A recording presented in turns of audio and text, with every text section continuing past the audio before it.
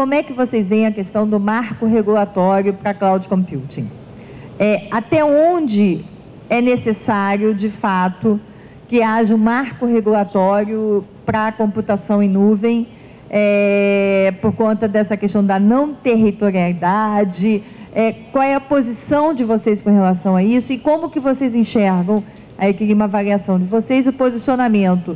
E aí, voltando à primeira pergunta do governo brasileiro, de, que, de exigir que os, que os dados do, do Brasil estejam hospedados no Brasil.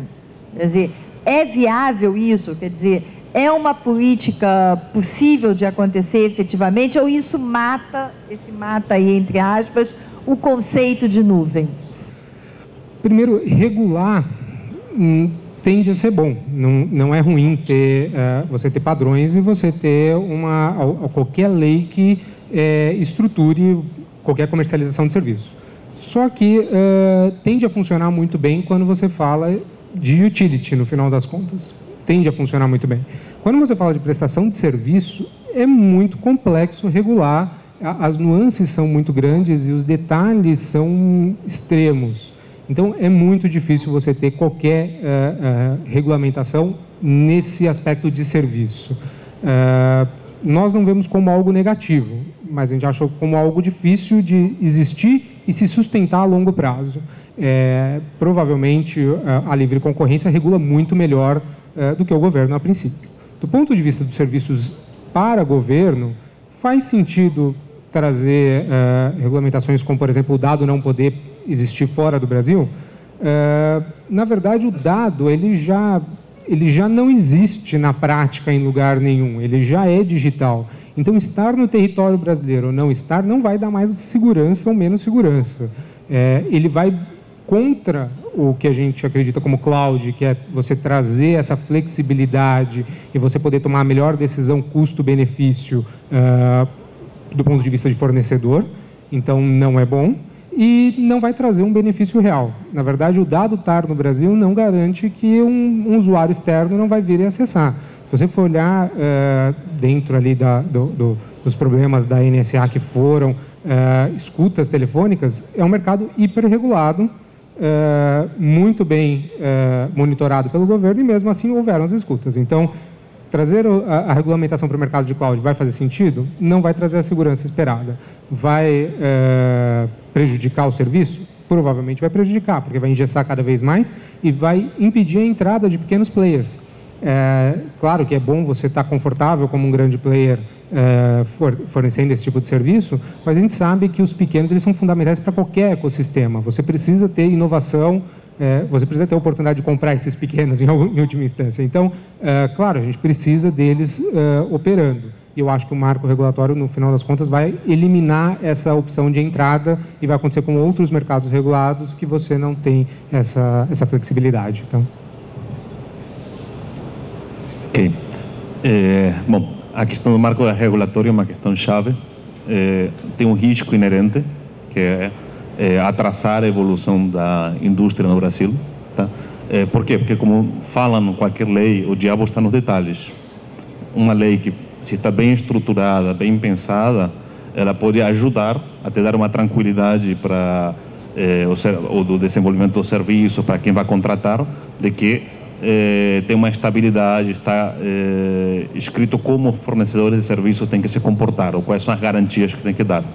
Então, uma, um marco regulatório interessante seria aquele que eh, garanta a segurança, garanta a qualidade de serviço, garanta como tem que ser eh, a questão de regular os dados, eh, eu também coincido com ele no sentido de que não, só pelo fato de você pedir que os dados estejam aqui, eh, pode até incorrer um sobrecusto, mas não necessariamente vai garantir a segurança desses dados. É melhor pensar quando vai se regular em como eu vou garantir a segurança, o que, que eu vou pedir, que encriptação, que nível de eh, acesso, que coisa vou pedir para o governo, mas que na questão física dos dados que ter uma cópia do dado fora, por mais que o dado esteja aqui, é uma questão muito simples tecnologicamente falando. Então, isso, isso de por si não vai garantir a segurança. É mais uma reação da pessoa de pensando no mundo antigo, onde o dado era algo físico. Ah, eu quero ter ele aqui. mas não é, é no mundo virtual de hoje uma coisa que vai dar segurança. Bom, o, o, excesso de intervencionismo nunca é bom. Nunca é bom na tecnologia, nunca é bom para a indústria, para serviço, para comércio, para absolutamente nada nesse país. O excesso de intervencionismo governamental é saudável. É, do ponto de vista de segurança, é, o dado estar hospedado no Brasil, estar hospedado fora, é algo que também não garante absolutamente nenhum tipo de segurança porque você não precisa que o dado esteja fora do Brasil para conseguir acessá-lo. Você consegue acessar de outras formas através das, das conexões. Ah, e para o governo legislar sobre alguma coisa, tem que ter a capacidade de fiscalizar. Porque legislar sem fiscalizar é totalmente inócuo. Portanto, para depois fiscalizar, para saber onde o dado está hospedado, é possível fazer talvez das maiores empresas do país? Talvez é possível.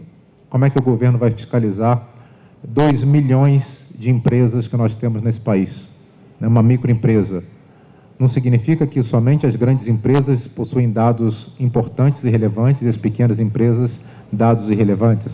A gente tem várias pequenas empresas que são fornecedoras de grandes empresas que têm muitas informações estratégicas e é totalmente inviável a fiscalização de saber onde esses dados estão hospedados. Portanto, na minha opinião, é, eu acho que não é nada produtivo esse, esse debate que hoje em dia ocorre é, para tentar regular a questão da, da tecnologia e da localização dos dados. Acho que vai contra ah, o movimento da tecnologia, contra a evolução mundial que vem ocorrendo. E eu acho que o Brasil pode ficar para trás dependendo da decisão que se tome. Ana Paula, o contexto do, do marco regulatório é importante, mas ele não é o único para resolver essa questão relacionada à segurança. O marco regulatório é importante por uma questão de é, segurança é, legal para que se façam investimentos nessa linha no mundo inteiro. É, mas não é uma questão de país, é uma questão mundial. Nós devíamos estar pensando como o Brasil, Europa, Estados Unidos vão entrar num acordo para que a violabilidade da informação seja garantida, que ela não possa ser permitida. E a questão da cloud computing em relação à regulação tem um ponto bastante importante. O cloud computing pressupõe você compartilhar o conhecimento, compartilhar as informações de processamento, a capacidade de processamento de uma forma interconectada. Então, aonde o dado vai morar, ele não faz muita diferença, como os amigos comentaram, porque a informação precisa ser acessada por todos os dados estarem aqui não resolve muito dos problemas. É, a gente sabe aqui no Brasil que, pelo menos pela mídia divulgado, que se você for a 25 de março ou, ou na Santa Efigênia, você compra alguns dados de algumas pessoas importantes desse país. Isso é um problema. Não importa ter a regulação ou não, é como vai ser fiscalizado, como vai ser controlado e mais do que isso. Hoje existem tecnologias, processos e procedimentos para trazer essa segurança. Então, os dados estarem armazenados num país não resolve o problema da questão da segurança, e sim os procedimentos para com que esses dados vão ser manipulados pelas empresas, pelos provedores. Até porque se a gente fala de portabilidade da informação, um dos, eh, dos pontos da questão é como um dado sai de um lugar ao outro. Então, o dado não é só um ponto, ele é importante, a regulação é extremamente importante, mas não fecha todas as brechas. Talvez uma regulação baseada numa ISO seja muito mais importante para o mundo do que simplesmente para o nosso país. Eu corroboro a ideia dos colegas.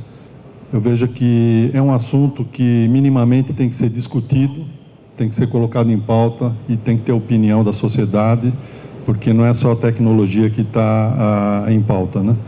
Mas a, a questão é, novamente, é excesso de leis, excesso de controles, fiscalização, punição, uh, desvios de, de, de, de formas de, avaliar esse tipo de desvio de conduta. Eu acho que nas questões uh, técnicas, uh, elementos normatizadores podem con contribuir de forma definitiva e eu acho que as outras questões elas devem ser colocadas num aspecto mais social, de conhecimento do cidadão e aí o, o, o país, a sociedade escolher o melhor caminho.